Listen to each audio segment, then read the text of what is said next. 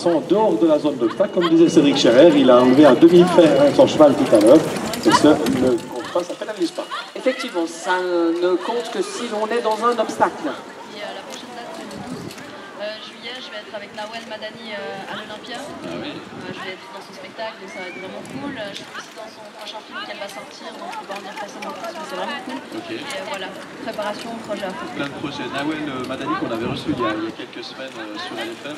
C'est vrai que c'est quelqu'un qui, fait bien parler d'elle en ce moment, qui a, qui a la pêche comme ça. Ce, ce- ce milieu de l'humour et, et du cinéma, c'est quelque chose qui t'attire alors Bon, je sais pas vraiment si moi un jour je pourrais me projeter dans ce milieu-là, même si je suis un petit clown. On dirait pas, mais c'est vrai. mais euh, pour le coup, euh, non, c'est une personne extraordinaire et puis c'est vraiment un honneur qu'elle m'ait euh, invité. Donc l'obstacle numéro 3, cet attelage qui va si vite, c'est celui de Hans Peterson. Vous avez deux, vous ensemble Qu'est-ce que vous allez.